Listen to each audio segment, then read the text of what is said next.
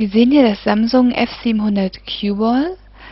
Es hat eine VGA-Kamera zur Videotelefonie und eine 3-Megapixel-Kamera. Und genau die wollen wir jetzt mal testen. Über einen Shortcut hier oben gelangt man zur Kamera, der aber nicht immer funktioniert. Eigentlich jetzt, jetzt hat es geklappt. An der Seite sehen wir auch schon sehr viele Einstellungsmöglichkeiten. Zum Beispiel, dass wir jetzt in der normalen Kamera sind und die Bildgröße und auch, dass der Blitz auf automatisch gestellt ist. Diesen kann man hier an der Seite auch mühelos verstellen. Durch einmaliges Drücken ist er dann weg oder an oder halt automatisch. Hier unten haben wir den Selbstauslöser, der ist zurzeit aus. Man kann auch 3 Sekunden einstellen, 5 oder auch 10. Hier an der Seite sind die weiteren Einstellungsmöglichkeiten. Man kann zum Beispiel zur vorderen Kamera wechseln oder den Aufnahmemodus verstellen. Zum Beispiel eine Einzelaufnahme oder die, dass er mehrere Aufnahmen hintereinander macht.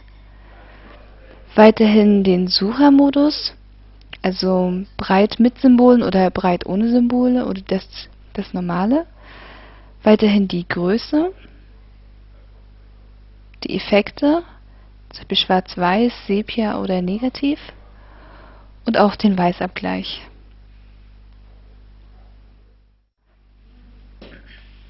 Und jetzt wollen wir mal ein Testfoto machen. Hier oben auf den Auslöser einfach lange raufdrücken und dann macht er das Foto auch schon.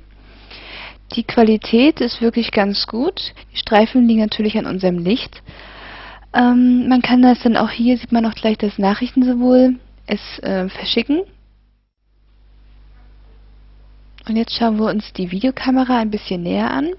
Hier an der Seite sieht man auch schon, dass sich die Symbole verändert haben. Hier oben ist jetzt das Videokamerasymbol und auch ein Lautsprecher, also dass er mit Ton aufnimmt.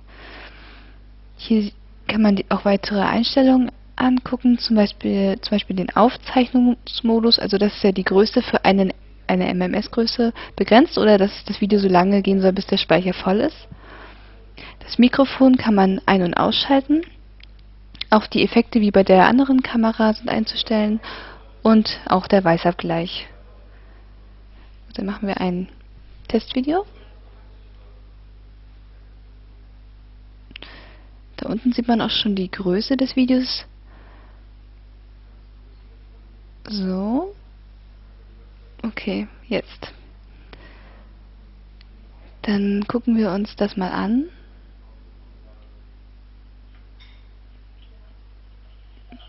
Ja, er hat mit Ton aufgenommen, wie er es an der Seite auch schon angezeigt hat.